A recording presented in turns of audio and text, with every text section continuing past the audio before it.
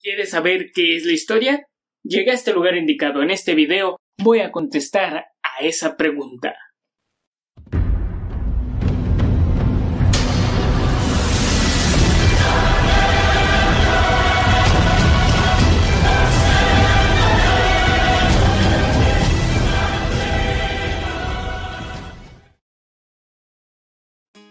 Hola y bienvenidos a Lechuza de Atenea, el canal de historia. Tenía ya mucho tiempo, mucho tiempo sin subir video porque Dios mío tuve un semestre de locos. Pero ya estoy aquí de vuelta para lo que a ustedes les gusta en este canal que es historia. En el video de hoy voy a tratar de contestar nuevamente a la pregunta de qué es historia. Pero no solo eso, sino que es la reseña del libro de Edward Hallett Carr que lleva el mismo título, que es Historia. Una reseña que les había prometido cuando hice el video de 10 libros indispensables para la carrera. Ahora sí, vamos al tema. Si ustedes van por la calle y le preguntan al azar a las personas ¿Qué es la historia? La mayoría de personas les va a decir que son hechos del pasado, que es estudiar el pasado y cosas similares, salvo que se encuentren con un historiador. Él les dará una respuesta completamente diferente. ¿sí? imagínense que el historiador que se encuentran es al mismo Edward Haller Carr. Y él les diría más o menos esta respuesta. La historia es un proceso continuo de interpretación entre el historiador y los hechos, un diálogo sin fin entre el presente y el pasado.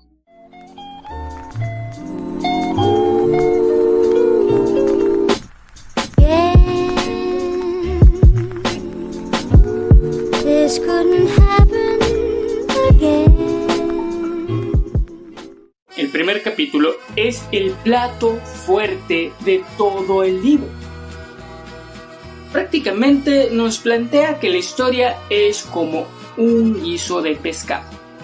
Y el historiador es este sujeto de aquí. Sí, ¿por qué? Porque el historiador no solamente cocina, sino que tiene que ir a pescar. Obviamente no está embrujado, los peces creen que sí. A esta hora los peces prefieren estar por allá. Selecciona los mejores peces. Tus amigos conocen de peces. Para su platillo y después comenzar a prepararlo para finalmente servirlo.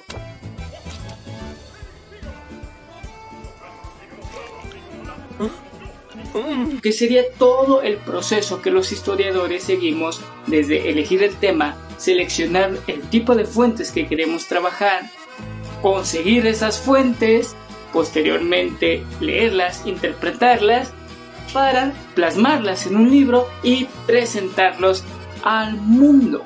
Depende de nosotros, de cada uno de los historiadores, de cómo será el resultado final. Lo que nos deja con algo muy claro. Los hechos, o más bien la historia, no solamente se compone de hechos que pasaron y ya, sino que nosotros los historiadores seleccionamos qué es un hecho histórico, qué es un acontecimiento histórico y qué no lo es. Vamos a poner un ejemplo. Miles de personas o millones de personas a lo largo de la historia han cruzado el río Rubicón en Italia. Sin embargo, el día que Julio César, junto con sus tropas, cruzó ese río para enfrentar a Pompeyo, lo elegimos y lo catalogamos como un acontecimiento histórico. He tomado mi decisión. Voy a ir a Roma. Voy a cruzar el Rubicón. ¿Alguien quiere venir conmigo?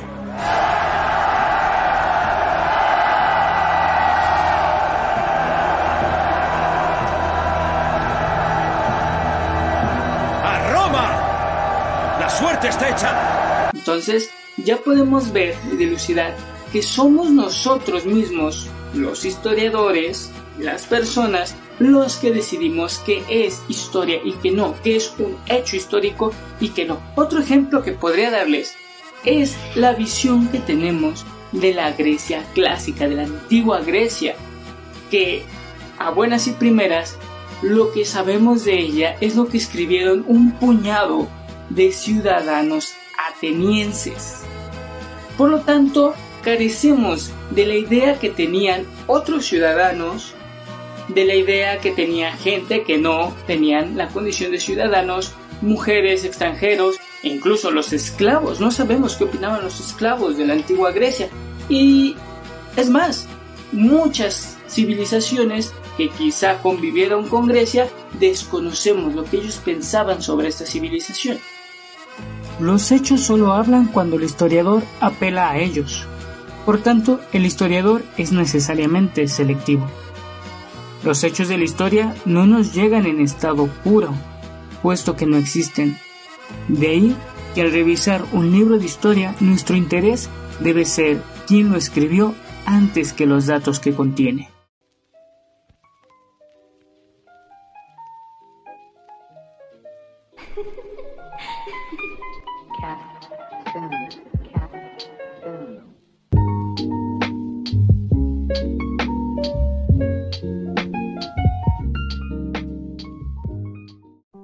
Si la historia depende tanto del historiador, entonces creo que deberíamos preguntarnos qué es un historiador y qué es lo que hace y por qué lo hace.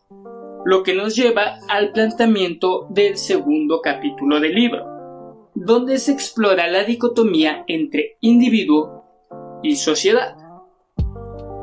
El autor hace la siguiente pregunta. ¿Hasta qué punto es el historiador producto de sí mismo, de su individualidad y hasta qué punto es producto de una sociedad y de su época.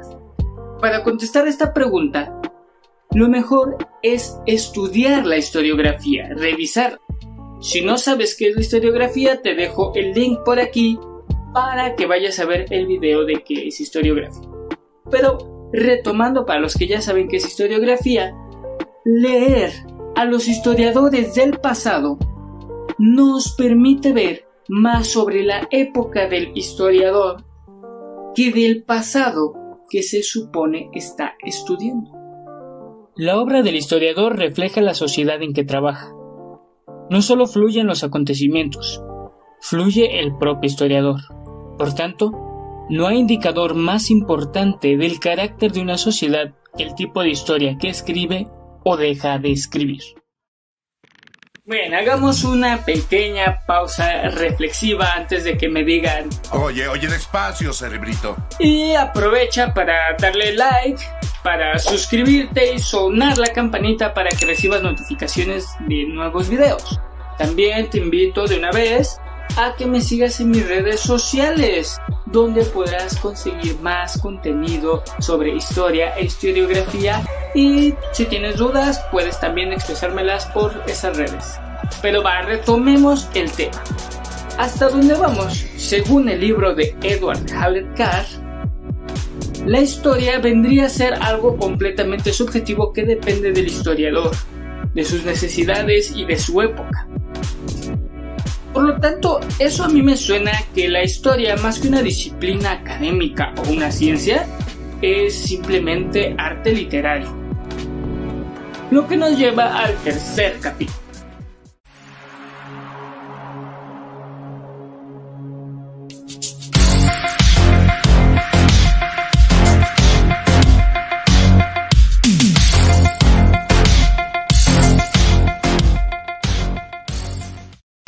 Este tercer capítulo, el historiador entra de lleno a la temática, a la gran pregunta que todos los historiadores nos hemos hecho en algún punto de nuestra carrera o que se harán si apenas van empezando.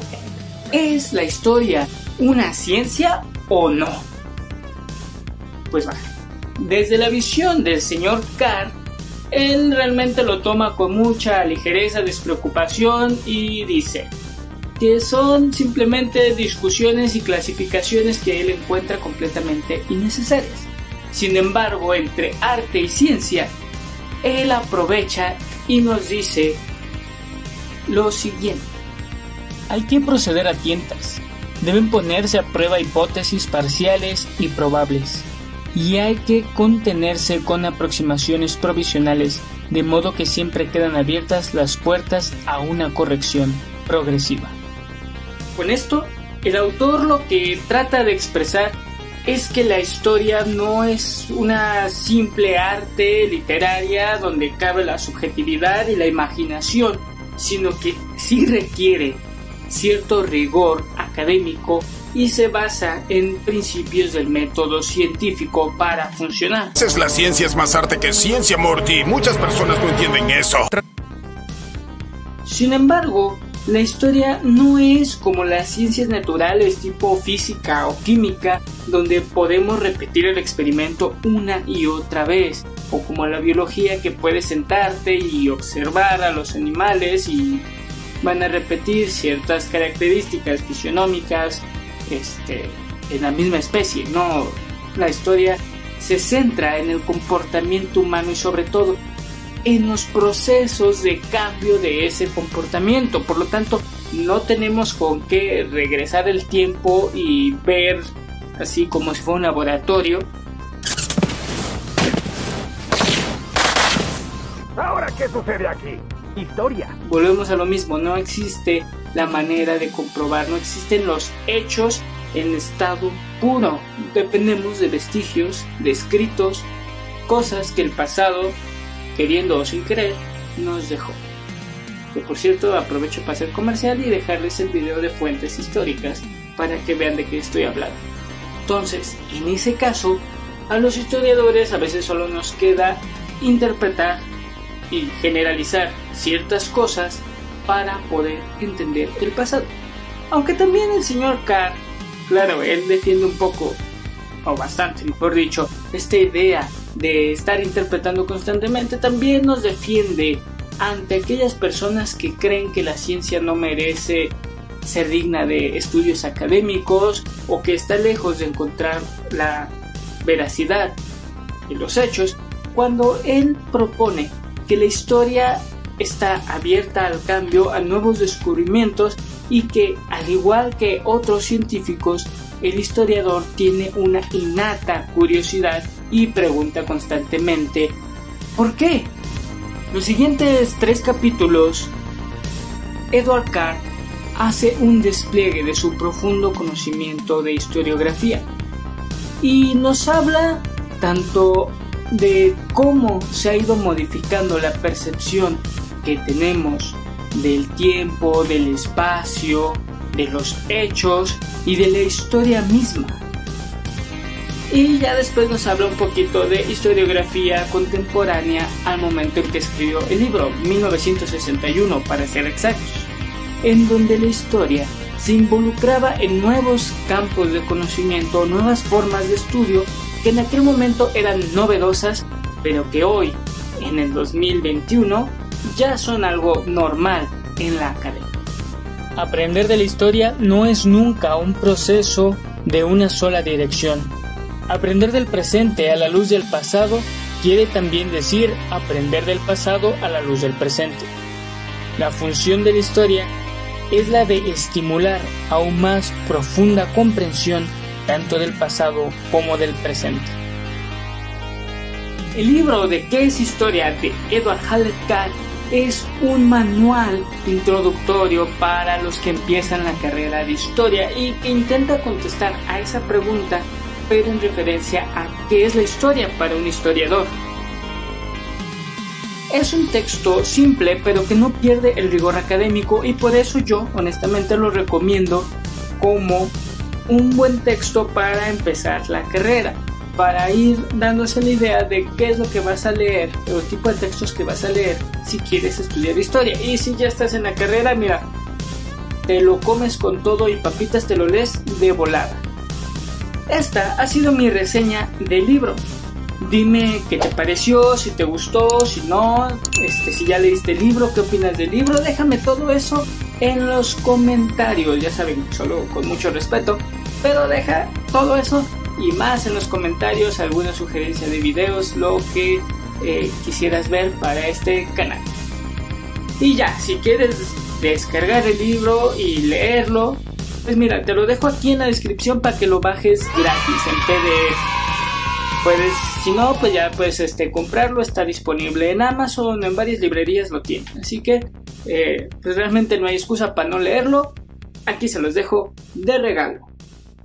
Eso es todo por mi parte. Nos vemos en la próxima aquí, en Lechuza de Atenea.